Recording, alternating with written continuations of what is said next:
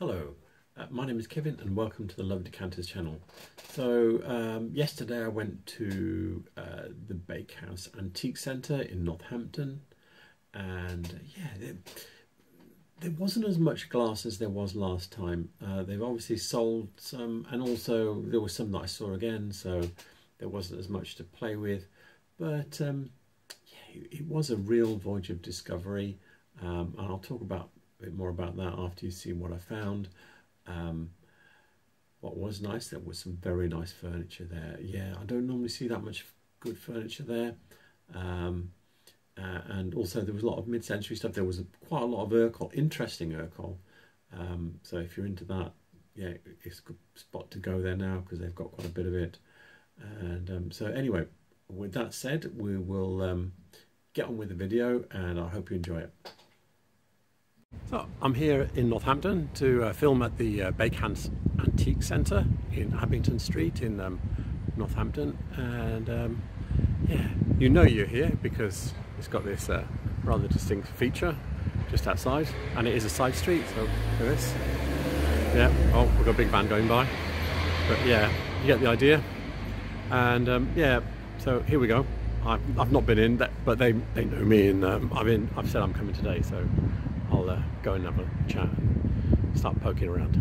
I'm in the entrance and um, yeah, spotted something immediately. Um, as I said, I like labels.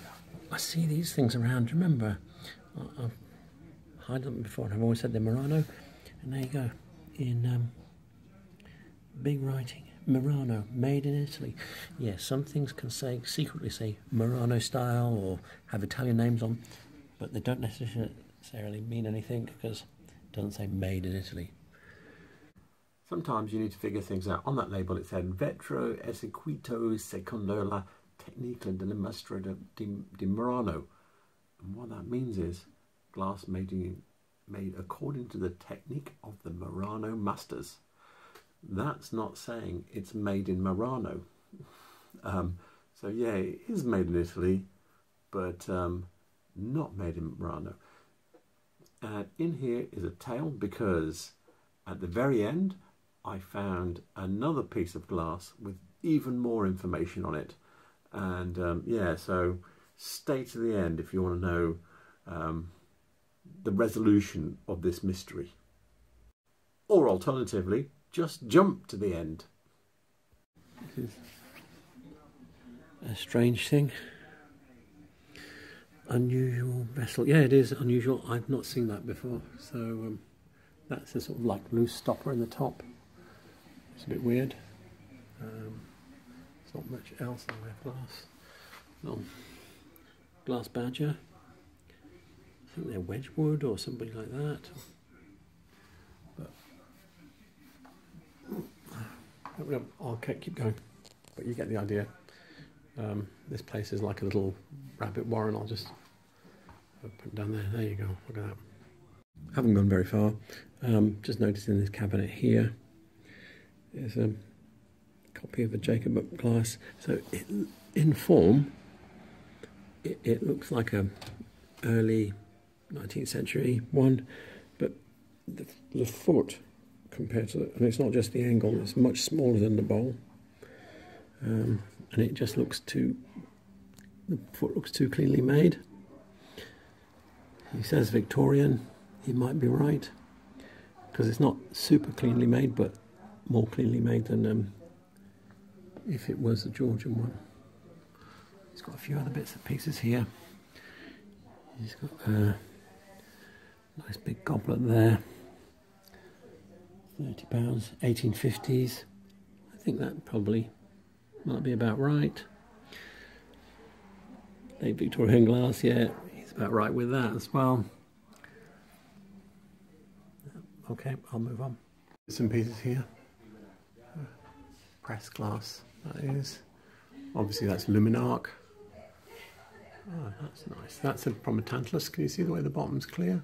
Because they, have cut it down to there because the frame of the Tantalus hides the bottom half. So why would you cut that? Some of them are cut all the way down, but some of them are not. But that highlights that that is from a Tantalus if it's got that clear base like that. Um, yeah, look at this. This is quite cool. Um, butter dish, eight pounds. Yeah, that's quite unusual. I don't recognise that. I might have a quick shufty and see if I can find it. Looks very 50s, the pattern, maybe earlier. But um, yeah, I'll move on. Just on the other side of the aisle, there's this little vase here. I noticed it's got 12 pounds on it, um, but it's signed Mtarfa. So that's from Malta. So I thought I'd have a quick look at Mtarfa glass. And there's a couple of really distinct things that they do. I mean, it doesn't look anything like the Medina stuff. Um, none of the same colours.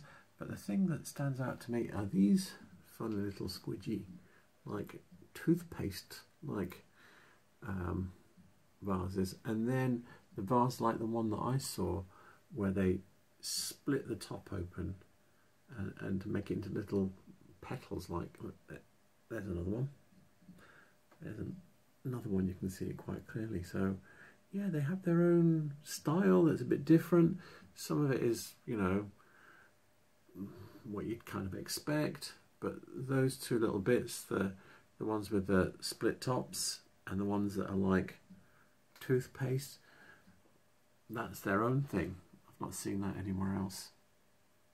And I'm back because they moved on.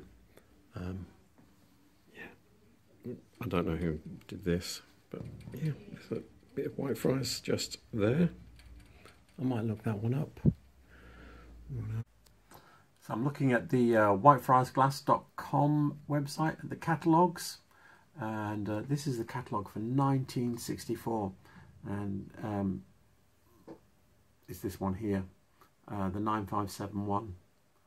So um, yeah, that's the bars that we were looking at. So definitely Whitefriars. And this is the first year it appears, 1964. So um, that's quite, and the, the, previous one was 1961. So you've got quite a close date there. This is here. It's a bit of quality glass there. Don't know who did that though, with a little cranberry, 54 pound. Oh, oh, it's got a silver holder. William Comyns 1900. So that's nice to see a date on something. Yeah, I don't know who did the swallow or the paperweight. What else have we got here?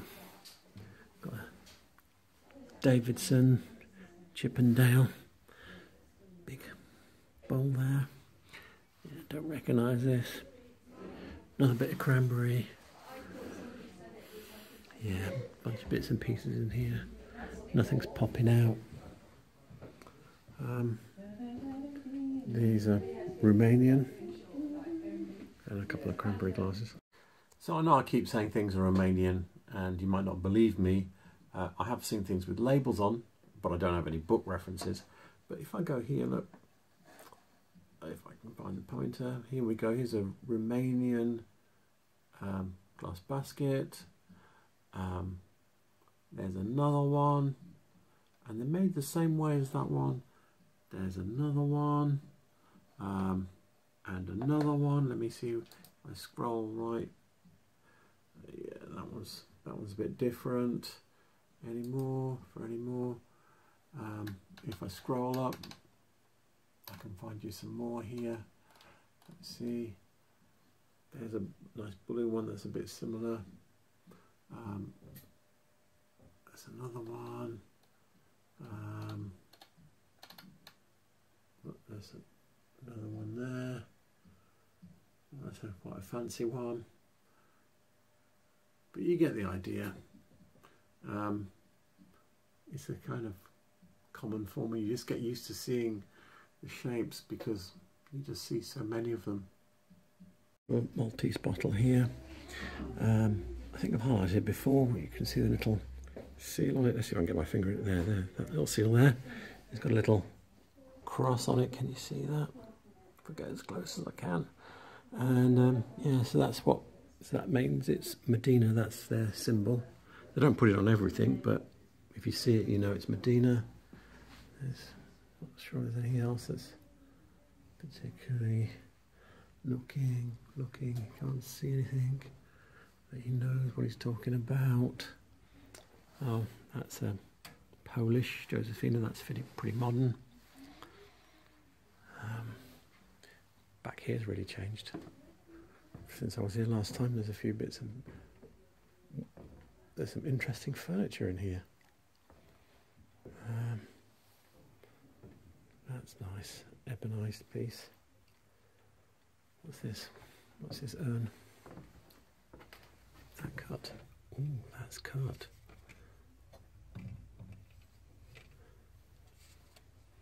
Glass bonbon dish and cover. Might have to um, stop. Oh, by the way, just yeah, I think that's probably Czech, but I will. I will poke. It might be Japanese because they did a lot of this graduated stuff. I don't think it's um.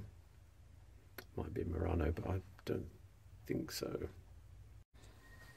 So I've had a look at this. There's no there's no price on it, um, but it does have a major issue in that the whole finial has been off at some point and glued with the not very transparent glue.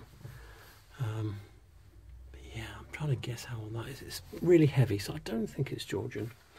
Um, might be a Victorian one because it's got plenty of wear on the base of the foot and the way the, the star cut on the foot it looks very Victorian.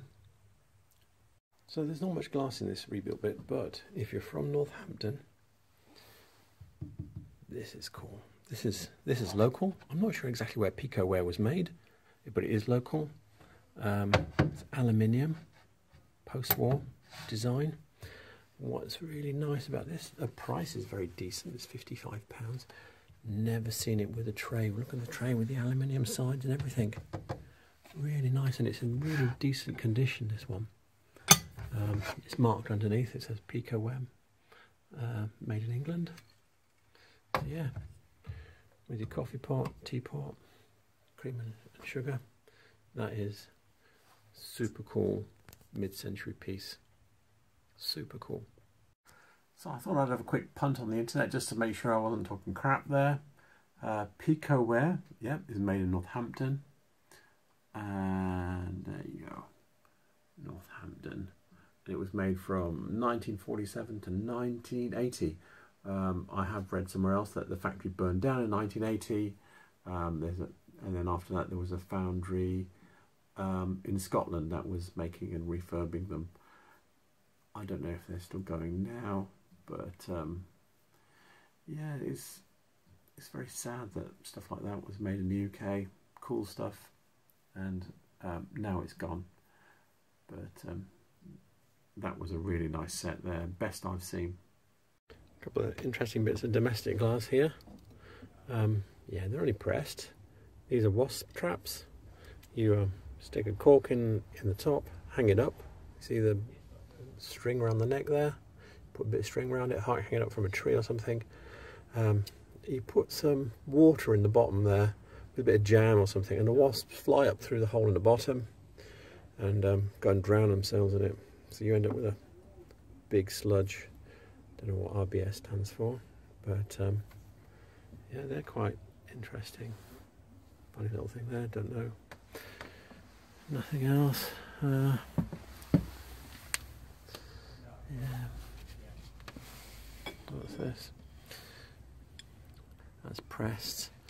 That's probably Davidson. I've seen that colour. Type little bowls and things with Davidson on them. Yeah. Nothing else. Stops the camera and realises he's completely blind. Didn't spot these. Um, coronation, 1937.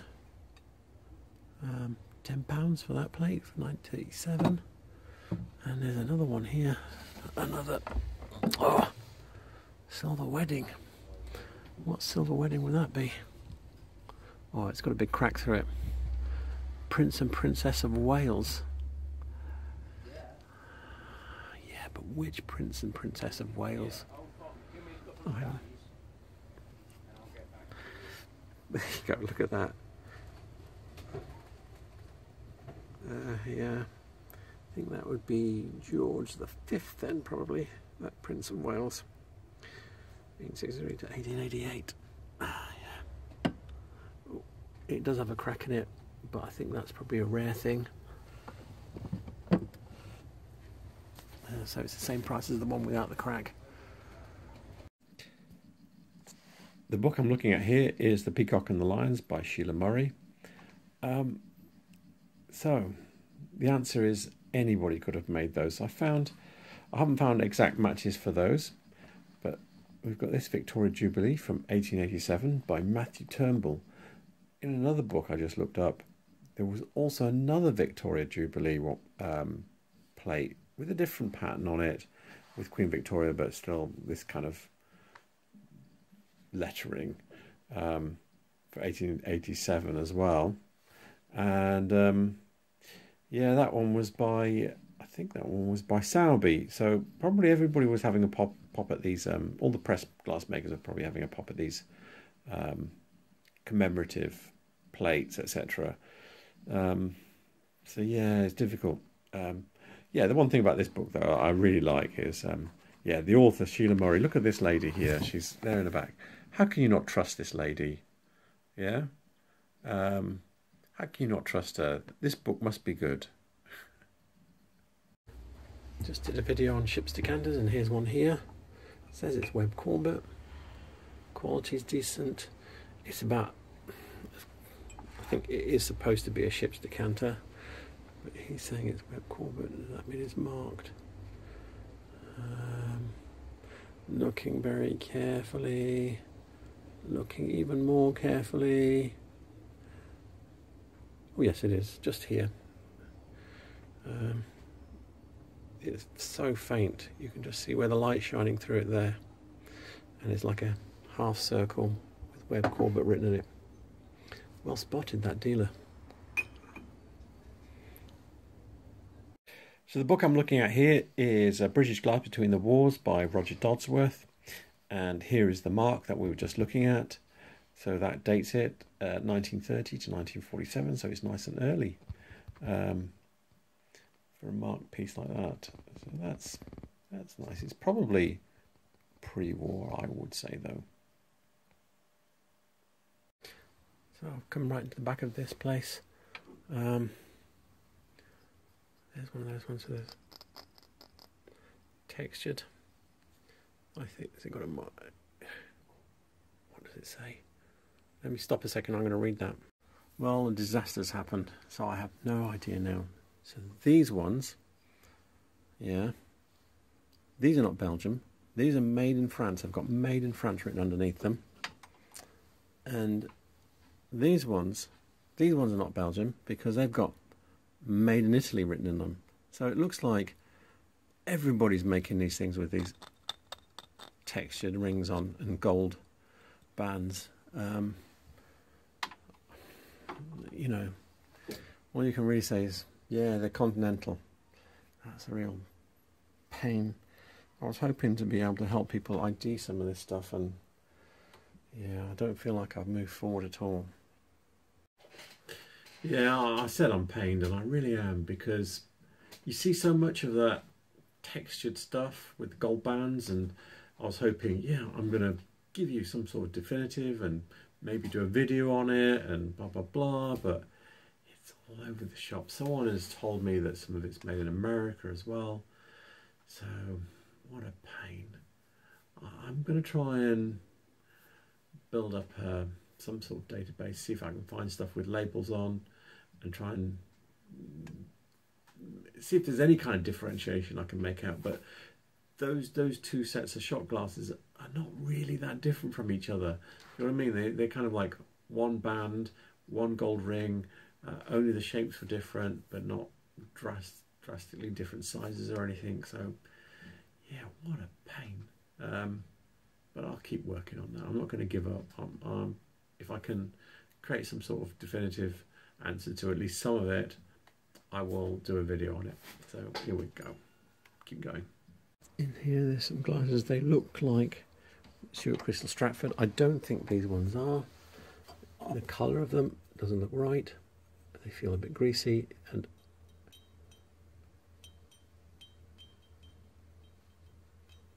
yeah, they're not ringing at all. So um, they're not lead crystal. I think these are probably made by um, Dema. And uh, yeah, there's nothing else really exciting here.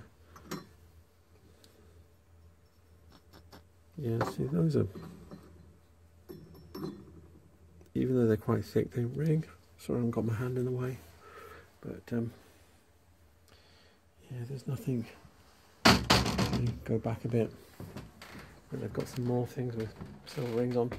Uh, yeah, I don't want to ignore them. That's the thing. That's just got blue paint on it. Um, so, has this got anything written on it? No. These are nice. Ooh. There's no price on them, but they're very nice quality shot glasses. Completely cut surface there. Yeah, they're nice. Um, yeah, they'd be late 20th century, I think. What else is here? Yeah, probably a pre-war press glass there. Anything back over this end of the room? Um, got a Davidson Jacobean jug there. That's pre-war pattern. Um, that's a Dartington bowl just there. Um, the Caithness bowl just in front of it there. Yeah, I don't know. That one's got a label on it that healthy says hand cut, but that's not useful. Um, and this. That's probably 1930s. It looks very deco-y, uh, that bowl, but I don't recognise it at all. And I don't recognise the jug behind it either. Everything is packed in here. Um, there is a nice, I can't even get to or see the label on, Caithness Warbler vase there. See with his tail up. Um, yeah. Oh, nice Georgian corner cupboard there. That's really nice in oak. But there's not any glass, any other glass that I can see. Got some um, Pyrex. The Pyrex. Made in England.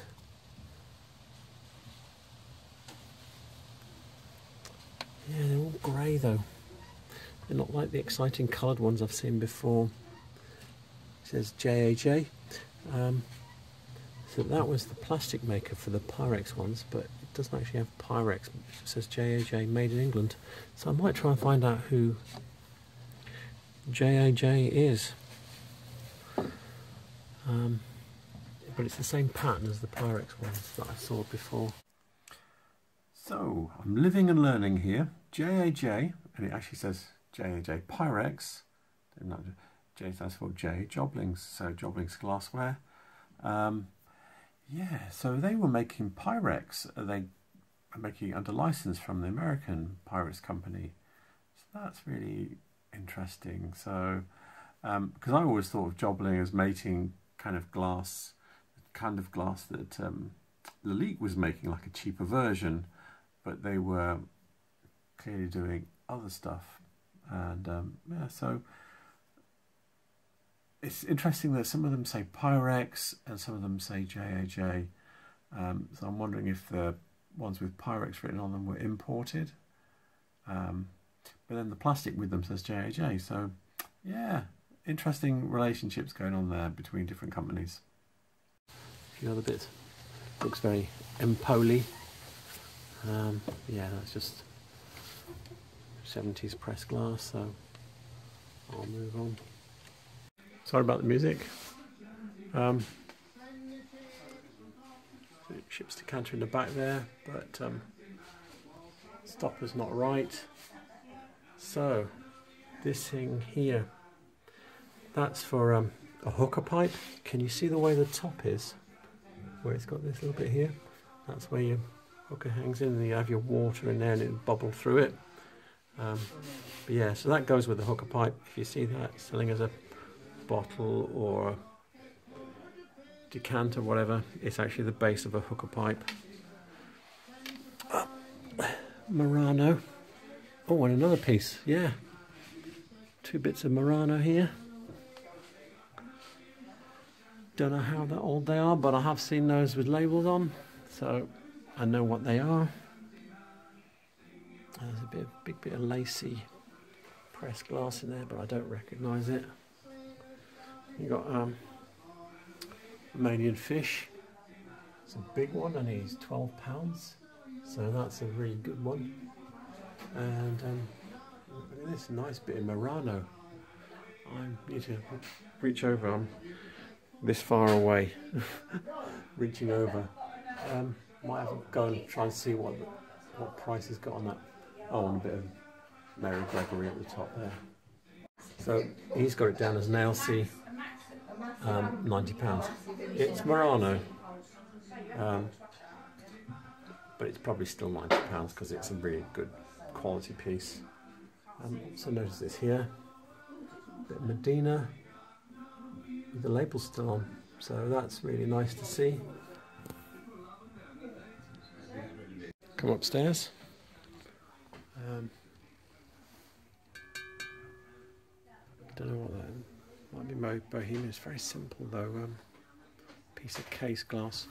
That looks like it's Empoli, but it's lead crystal.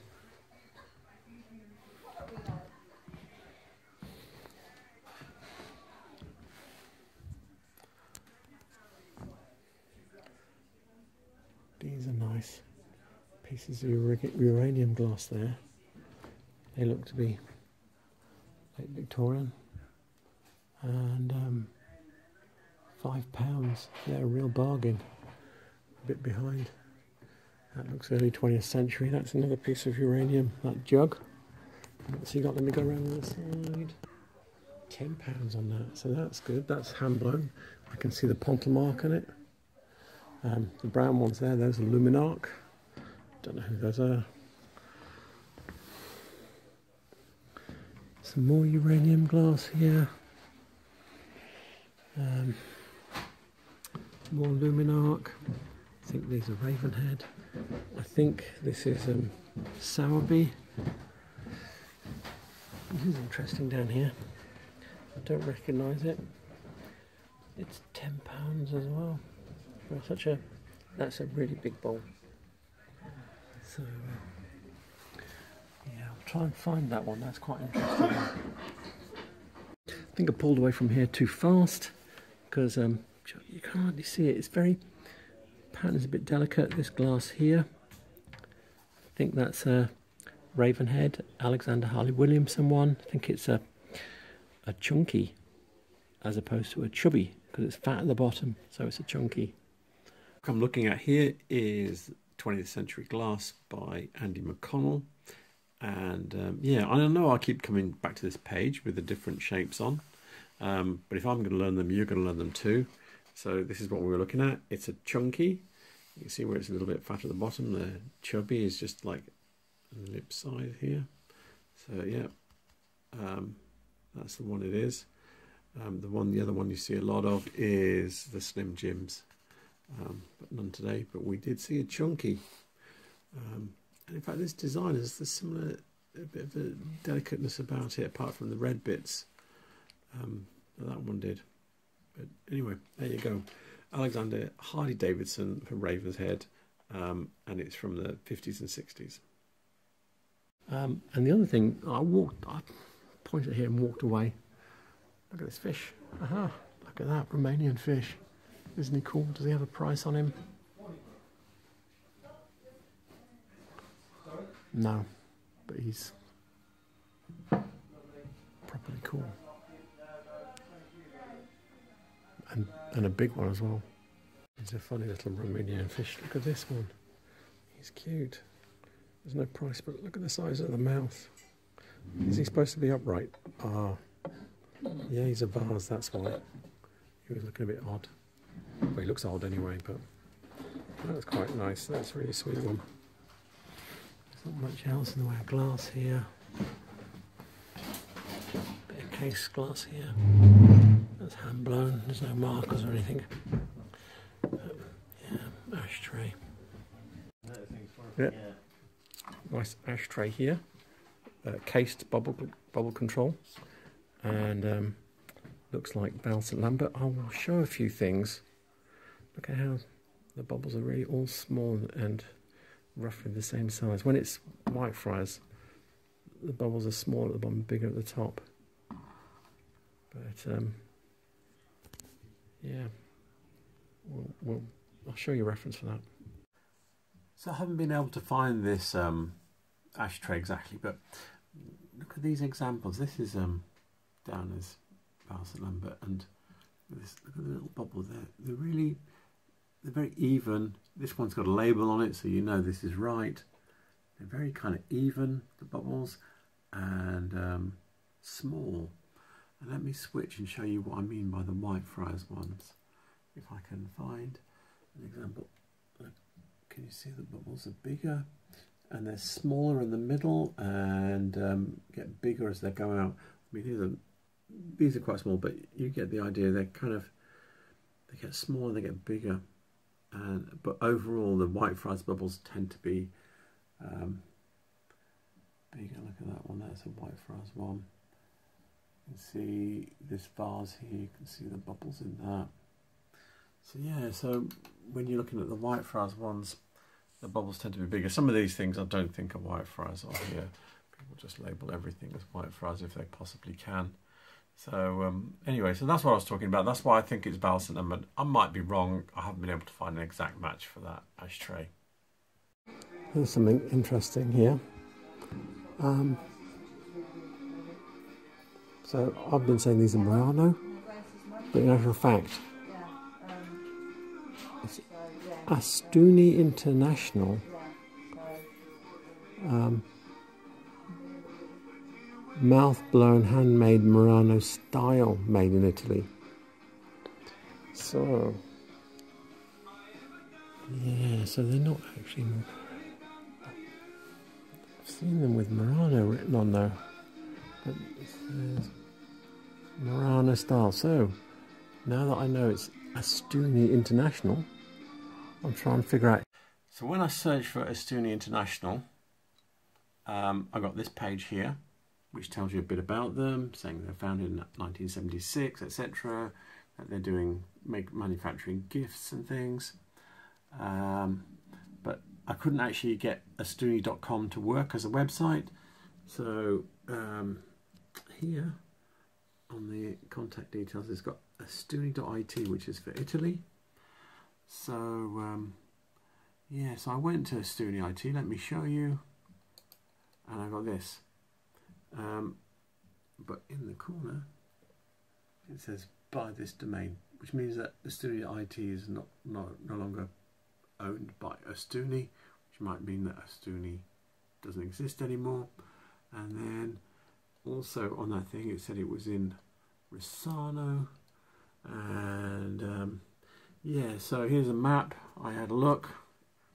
There's Venice and there's Risano. So it's in the same region, but is is actually not Murano because Murano is like an island somewhere close to Venice. I'm not sure exactly where, but somewhere in there, um, in the lagoon. So, so yeah, there you go.